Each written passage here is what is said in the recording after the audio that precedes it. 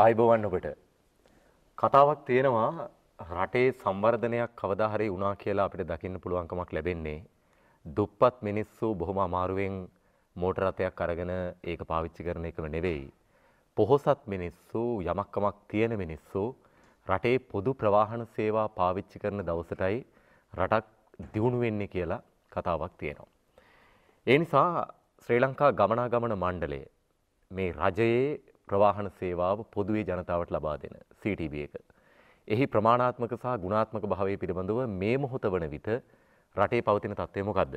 අපි ඍජුව ප්‍රශ්න කිරීමට බලාපොරොත්තු වන්නේ ශ්‍රී ලංකා ගමනාගමන මණ්ඩලයේ සභාපතිතුමා උපාලි මාරසිංහ මහත්මයා අයිබෝවන්. අයිබෝන්. ඇයි මේ රැයක් දවාලක් නැතුව වැඩ කර කර හිටපු සේවකයෝ හිටිගමන් වර්ජනය කරන්න ගත්තේ? එකට කාරණා කීපයක් තියෙනවා.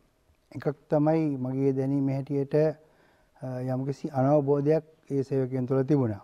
ඒ අනවබෝධ නිසාත් වර්ජනය ක්‍රියාත්මක වුණා. ඒ වගේම මේ දවස්වල ලංගම ප්‍රතිභූගත කිරීමේ ක්‍රියාවලයක් ආරම්භ වෙලා තියෙනවා. කාලෙකට ඉස්සෙල්ලා මේ වැඩේ. මේක වසරකට පෙර පටන් ගත්ත ක්‍රියාවලියක්.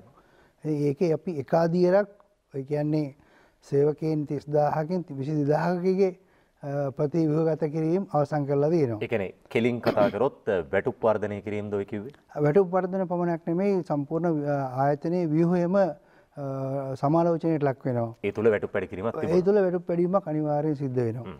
ඉතින් ඒකේ යම් යම් ගැටලු සහගතයක් මතු වුණා.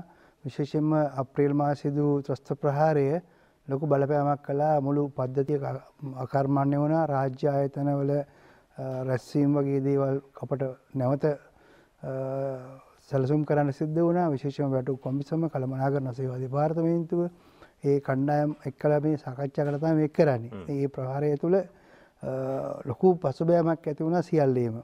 ඉතින් ඒක ඒක නිසා සිදු පොඩි ප්‍රමාදයක් සිදු වුණා ඒ නිසා. ඉතින් මේ සේවකයින් ඒකත් මුල් කරගෙන තමයි වර්ජනට බැස්සේ. හරි. උපාලි මාරසිංහ කියලා කියන්නේ ලංකාවේ හොඳ අමාත්‍යංශ ලේකම්වරයෙක්. ඔබේ සේවා කාලයට දැන් අවුරුදු 40කට කිට්ටු වෙනවා අපි දන්නා තරමේ. 37ක් ඉවරයි. 37ක් විතර වෙනවා. 38 වෙනි අවුරුද්දේ ඔව්. එතකොට මේ ලංකා ගමනාගමන මණ්ඩලයේ CTB එකේ කටයුතු බාර ගන්නකොට මොන වගේ අභියෝගද බැලූ බැලමට තිබුණේ? ඔව් ඇත්තම ලංකා ගමනාගමන මණ්ඩලය කියලා කියන්නේ 1958 ඉඳලා බස් ජනසතු කිරීමේ සිට. විවිධ උච්චාවචනයට ලකුණු ආයතන ආයතනයක්. මොකද හේතුව ඒක සමහර වෙලාවට දේශපාලන උච්චාවචනයන් විවිධ රජයන් වෙනස් වෙන ආකාරයේදී යම් යම් තිගැස්මක් ඇති වෙන ආකාරයේ සිදුවුම් සිදුවුණු බව අපට රහසක් නෙවෙයි මහ ජනතාව දන්නවා. ඒ වගේ පද්ධතියක් තුළ තමයි මේක අපට අරගෙන යන්න සිද්ධ වුණේ. එකක් තමයි මහජන සේවාව සපයන්න ඕනේ. එපමණක් නොවෙයි අපි අපේ ආර්ථික කාර්යත් ලාභ ලබන ආයතනයක් බවට පත්වෙන්න ඕනේ. මට මතකයි මුල් කාලයේදී එක්දා සමසය පනස්සට ඉඳල එක්දාම්සය අසුව අනුවක් භාගය වෙනකම්ම මහාබණ්ඩාගාරය යම්කිසි ප්‍රධානයන් කලා බස් මිලදී ගන්න සේවකන්ට යම් අවස්ථාවේදී වැටුප් ගෙවන්න. ඒ කියන්නේ හරියටම ගත්තොත් එහෙම සභාපති අනිල් මුණසිංහ මහත්මයාගේ සමය දොබෝයි කියන්නේ. ඇත්තම අනිල් මුණසිංහ මහත්මයා සමය කවුරුත් සලකන්නේ ලංගම තාම හොඳ හොඳ කාලයක් කියලා කියන්නේ. හැබැයි අද වෙනකොට අපට ඒක සංසන්ධනය කටියක් අමාරුයි. මොකද හේතුව අනිල් මුණසිංහ මහත්මයා කාලේ ළඟම මේක අධිකාරය ප්‍රවාහන මාධ්‍යය. එතකොට මොන ආකාරයට බස් එකේ යන්න ඕනේ. ඒ වගේම රජයේ ලොකු වගකීමක් අරගෙන තිබුණා ප්‍රවාහන සේවා විධිමත් කරන්න. නමුත් පුද්ගලික බස් ව්‍යාපාරය ආවට පස්සේ ළඟම පොඩි රජයේ පොඩි සුසුමක් හෙළුවා දැන් තවත් කට්ටියක් ඉන්නවා මේ ප්‍රවාහනය කරන්න. ඒ හින්දා අපි එච්චර කලබල වෙන්න ඕනේ නැහැ කියන මතයටත් දැක්කා. ඒ නිසා ඒ මතය හරිද? මොකද තරංගකාරී වෙළඳපොළ ආර්ථික ක්‍රමයක් ගැන කතා කරන්නේ. ඇත්තම මගේ අදහස පුද්ගලික හරි ළංගම හරි මහජනයාට ඉතාම හොඳ සේවාවක් දෙනවා නම් ඒක හොඳයි සමහර රටවල එහෙම සිද්ධ වෙනවා. ඒ ඉතාම හොඳ සේවාවක් දෙන්නද සභාපතිතුමා දැන් සේවකයෝ 30000ක් ගත්තොත් බස් රථ 5500ක් විතර නේ තියෙන්නේ. හොඳ 6500ක් ධාවනය දෙනවා. විතර තියෙනවා. ඒ අරගාන මේ ගානෙන් බෙදුවොත් එහෙම සේවකයෝ හතර දෙනෙක් අඩුම තරමේ ඉන්නවා. එතකොට සේවක අතිරික්තයක් තුල ඒ ඒ ඔබ කියපු අරමුණට යන්න පුළුවන්ද? ඔව් ඇත්තෙන්ම අපි මේ වෙනකොට අභියෝගයට මුහුණ දීලා තියෙනවා. සේවකයන් වැඩිවීම අර මං කියපු යම් යම් කාලවල සිදුණු උච්චාවචනයන්ගේ ප්‍රතිඵල. ඉතින් නමුත් අපට මේ වෙනකොට සේවකයෝ එළියට දාන්න බෑ. සාධාරණ කාරණයක් නැතුව එලියට දාන්නත් බෑ අර දානවා නම්- කරණය කියන වචනේ ආවේ ඒකටද? නෑ, එළියට දානවනම් අපි ඒ සාධාරණයක් ඉෂ්ට කරන්න. ප්‍රතිභගත කිරීමදී කිසිදු සේවක කෙලිට යන්නේ නැහැ. හරි අපි කරන්නේ ඒ සේවකයෙන් නිසි පරිදි යොදාගන්න අ, අවශ්‍ය පරිසරය නිර්මාණය කරනවා එතකොට සමහර අය සමහර සේවක ඉන්නවා අපට ටිකක් වැඩි වෙන්නත් පුළුවන් ඉතින් ඒවා ක්‍රමානුකූලව අ, අනිත් සේවක මිශ්‍රාම යන අවස්ථාවලදී අර ඒකට කියනවා ගෙවී යන ක්‍රමයට සේවකයන් කාඩර එක ඇතුළට ඇතුළත් කරනවා කියලා හ්ම්. එතකන් අපට ටික කාලයක් මේක දරාගන්න වෙනවා. ගුණාත්මක සේවයක් ගැන කතා කරන අනිවාර්යෙන් කවුරු වුණත් මේ ගුණාත්මක සේවයට අත තියන්න ඕනේ අපට පුරුදුව තියෙන්නේ අර පරණ බස් එකේ අ, තෙරපිලා ඒ වගේම සමහරලාට කො- ස- සැප පහසු. සමහරලාට උදාහරණයක් ගත්තම ෂොකප් සෝබස් උඩ යනවා යට යනවා ඒ ප්‍රවාහනයක් තියෙන්නේ වචනේ right. පාවිච්චි කරන්න බෑ. සත්තු බඩු භාණ්ඩ ගෙනියනවා වගේ ප්‍රවාහනය කියන ඒක වචනේ හරි තමයි. දැන් අපට කියන්න පුළුවන් ඕන්න ලොරියකින් හරි කියලා දැම්ම නම් ඇතිනේ කියලා. නමුත් ඒක අද කාලේට ගැලපෙන වාක්‍යයක් නෙවෙයි. අද මිනිස්සු සුඛෝභෝගී ජීවිත රටාවකට හුරුවෙන් පවතිනවා. ඒත් එක්කම ළඟමත් අද තියෙන පුද්ගල බස් ව්‍යාපාරයත් අනිවාර්යෙන් දෙකම සමාන්තරව ජනතාවට සමීප වෙන්න ඕනේ. දැන් ඔය ඔය බස් රථයේ ඉඳලම ඔය කාරණේ තියෙනවා දැන් ඇතැම් වාහනවල වර්ග කියන්න බෑ අපට. ඒ ඒ ඒ නිසාම මේවා ලොරි බස් නෙමෙයි කියන තැනට ඇවිල්ලා තියෙනවා. ඔබට මේ පැතුරුණු අත්දැකීම් තියෙන නිසා සභාපතිතුමනි දැන් පෞද්ගලික බස් රථ ලංකාවේ ලාභ ලබනවද? නිසි කළමනාකරණය කරන බස් අත ලාභ ලබනවා. ඇයි CTV පාඩු ලබන්නේ? අපි පවුඩ් ලබන්නේ නැහැ දැන්. ඒක තමයි අපි මේ දවස්වල ලබපු විශිෂ්ටම ජයග්‍රහණය. පසුගිය වසර දෙකක තුනක කාලේ ඉඳන් අපේ පාඩු ලැබීමේ රේඛාව ටික ටික මැකිලා ගිහිල්ලා ලාභ ලැබීම රේඛාවට අපි ඇවිල්ලා මේ රටේ ජනතාව දන්නේ නැහැ. තාම පාඩුයි කියලා. ඔව් ඒක තමයි. අ, ලංකාවේ ඩිපෝ 107ක් තියෙනවා. ඒ ඩිපෝ 107න් 95ක් විතර අපි අද තනිකරම පඩි ගෙවාගෙන අ, තව සල්ලි ඉතුරුත් කරලා තියෙනවා. ඩිපෝ 105ක් විතර ඒ කියන්නේ දලවෙන් 107න් පහක් කියන්නේ ඩිපෝ 6ක් 7ක් විතර තාම ඒ ලත් අතර පත් වෙලා නැහැ. ඒකට විශේෂ හේතු තියෙනවා. වශයෙන් ඊටාම ගම්බද ඩිපෝවකට ලාභ ලබන්නේ කියලා අපි බල කරාට මගී රටාව පරිසරය ඒවත් එක්කලා ඒක පවත්වාගෙන යන්න බෑ. සමහරවිට බස් එකේ සෙනග ඉන්නවද නැද්ද කියලා බලන්න නැතුව දුවන්න සිද්ධ වෙන අනිත්. සමහරවිට දුර සේවාවල නැත්නම් රාත්‍රී සේවාවල විශේෂයෙන්ම අපිට ගමේ බස් එක සමහරවිට සෙනග නැතුව හරි යන්න ඕනේ. කීප දෙනාට හරි යන්න යන්න ඕනේ. ඉතින් ඒ නිසා ඒවට අපි කරන්නේ අපේ ළඟමින් විවිධ මූලාශ්‍ර තියෙනවා අපේ මුදල්. ඒකෙන් පොඩ්ඩක් උදව් කරනවා. ඒකට පාඩු වැඩි නම් උදව් කරනවා. සමහර මාසවල ඒගොල්ලන්ගේ ආදායම හොයා ගන්නවා. ඒ වගේ උදව් කරන ඩිපෝ පහක් තියෙනවා. දැන් මේ එක්ස්ප්‍රස් වේ එකේ ලාභ ලබනවද? අ- අධිවේගී මාර්ග. අනිවාර්යෙන් එතකොට සෙනග නැති වෙලාවල් වල ඒ දුවන්නේ නැත්තේ. මේ කාල සටහන් පිළිබඳ ප්‍රශ්න තියෙනවා කියලා දැනගන්න. අනිවාර්යෙන් මොකද පුද්ගලික බස් ව්‍යාපාරයේ ළඟමයි බ- කාලසටහන් නියාමනය කරන්නේ ප්‍රවාහන කොමිසම. එතකොට මේ ප්‍රවාහන කොමිසම අනුව තමයි අපට ඒ ගමන් වාර ලැබෙන්නේ. ඉතින් අපි සාකච්ඡා කරලා නියමිත ගමන් වාරවල පමණයි අපට යන්න පුළුවන්කම තියෙන්නේ. දැන් ප්‍රවාහන ප්‍රතිපත්තිය ඔබ කමිසම ගැන කියපු නිසා සභාපතිතුමා ප්‍රතිපත්තිය තියෙනව නේද ඒකාබද්ධ සේවයක් NTC සහ මේ මේ ඒකාබද්ධ සේවයක් පිළිබඳ තීරණයක් අරන් තියෙනව නේද? ඔව් සමහර මාර්ග ඒකාබද්ධයි. සමහර මාර්ග තාම ඒකාබද්ධ කරන්න බෑ මොකද හේතුව ඒකාබද්ධ නියමය තුළ අපි අධිවේගී මාර්ගය බෙදාගෙන තියෙන 50 50 අනුපාතයෙන්. ඒ කියන්නේ අපේ බස් 50ක් දුවනකොට ඒගොල්ලන් 50ක් දුවන්න ඕනේ. හැබැයි තවම අපේ බස් 50ක් දෙන්න සමහරට බැරි වෙලාවල් තියෙනවා. ඒ වගේ වෙලාවක අපි ඒ ටයිම් කාල වෙලාව පුද්ගලික බස් රථයකට දෙනවා. මොකද ඒ නියමිත බස් රථ දුවන්න ඕනේ හින්දා. ඒ ඒ ඒ තුල අතයට ගනුදෙනු සිද්ධ වීම වගේ දේවල් වාර්තා වෙලා නැහැ. දැනටනම් එහෙම නැහැ. මට ඉතින් ඒක හරියටම කියන්න බෑ. හැබැයි ඉතින් අපි පුළුවන් තරම් මේවා පාලනය කරනවා. ඒ නිසා මේ ඒකාබද්ධ කාලසටහන පවත්වාගෙන යාමේදී ඒ දුෂ්කරතා මතුවෙනවා. හරි.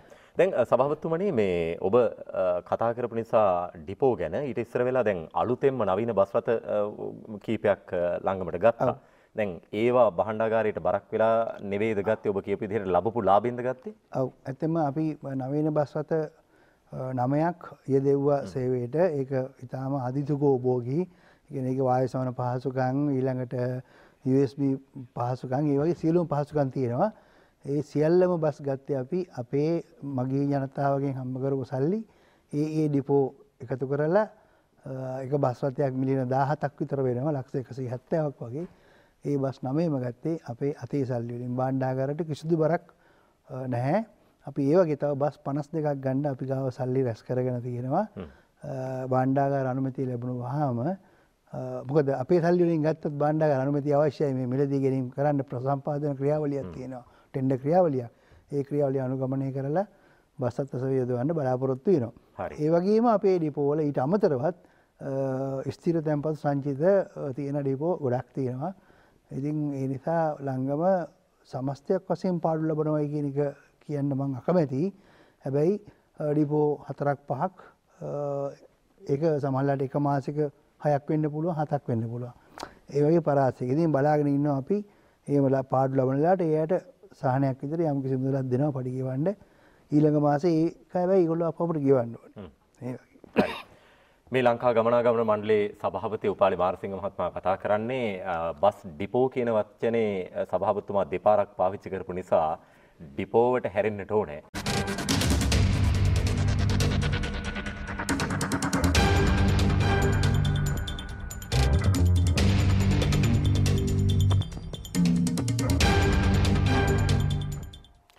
අද ජාතික රූපවාහිනිය අපේ බ්ලැක් අයි කතා බස් බස් ගැන ශ්‍රී ලංකා ගමනාගමන මණ්ඩලයේ සභාපති උපාලි මාරසිංහ මහත්මයාගේ පැමිණීම නිසාම කෙටි ප්‍රශ්නයක් අහනවා සභාපතිතුමනි. මේ දැන් ඔබ කිව්වා අලුතින් බස් රථ එකතු කරනවා තව ඉදිරියට එකතු කරන්න නවීන බස් රථ සුකෝභෝගී බස් රථ එකතු කරන්න හදනවා කියලා. දවසකට බස් කීයක් අයින් වෙනවද මහපාරෙන්?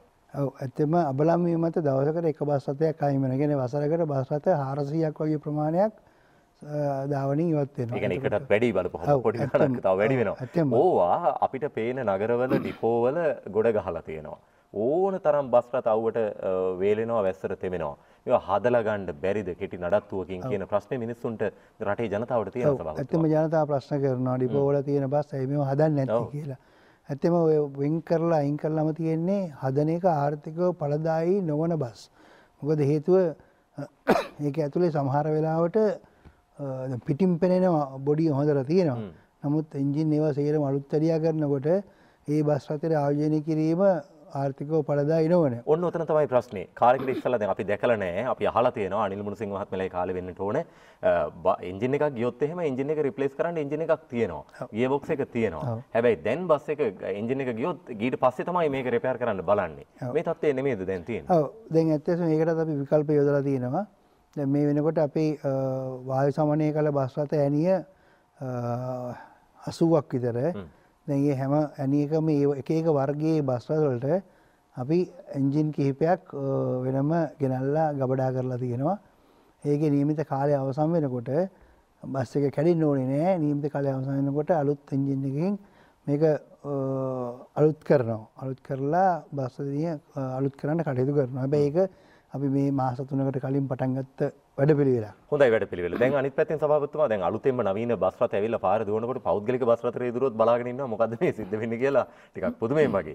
හැබැයි ජනතාව පුදුමයෙන් බලාගෙන ඉන්නවා. එහෙම අලුත්ම බස් පාර දුවනකොට ගමේ බස් එක හරි අපිරිසිදුයි. ඇතුළ පිරිසුදු කර ගැනීමක් නැහැ. මජම් වදිනවා, දූවිලි තියෙනවා. මොකද්ද මේ කරන්න කියලා හිතෙනවා. මොකද්ද මේ වෙන්නේ? ඇත්තම මේ මේ මේ ක්‍රියාවලිය තුළ ගුණාත්මක බස් රථයක් ඇදීම ක්‍රියාව තුළ ගොඩක් වෙනස්කම් වෙන්න ඕනේ. සම්ප්‍රදායික වෙනස්කම් අ, සම්ප්‍රදායික රටාවට ගිහිල්ලා මේක කරන්න බෑ. ඒ නිසා සමහරලාට බස් හේදීමේ ක්‍රියාවලිය පවා අලුත් වෙන්න ඕනේ.